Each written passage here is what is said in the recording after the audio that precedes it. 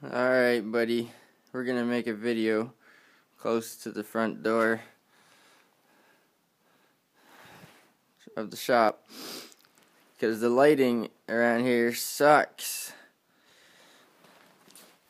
I only got three minutes to do this for with my new phone. I only got three minutes for some reason, but anyway, uh, here's the liners out of the stove Sometimes I use them, sometimes I don't. This one here is the riser liner. I use it all the time. Um, it probably doesn't have quite 50 hours on it, but it's in good condition. It's everything I used was used. This is all recuperated scrap metal, basically free junk. So, uh, I heard that Ianto Evans likes to build stuff out of people's garbage. And that's pretty that's a pretty cool idea. The only thing that's that's not used or is not junk is from that yellow line down is a big huge fire brick and that's like that's like cement and perlite and fire uh, fireplace mortar and yeah that's the only thing that's not used or recuperated and there's a couple pipes that aren't used those are double that sitting on there sideways because there's another pipe underneath of it, like double pipes or whatever. But anyway, I've only got uh, three minutes to do this.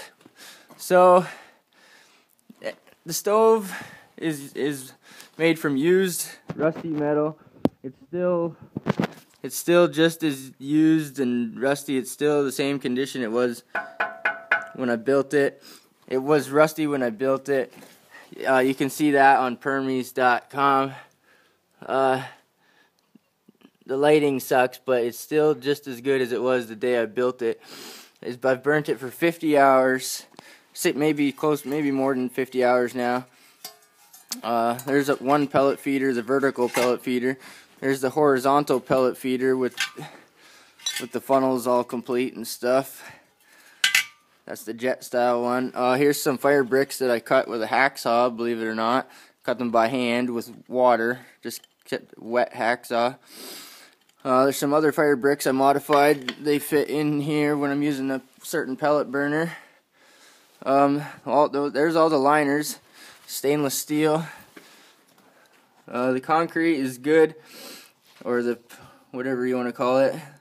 Big fire brick is good. There's a lot of ashes sitting on there, but they can be cleaned out whenever.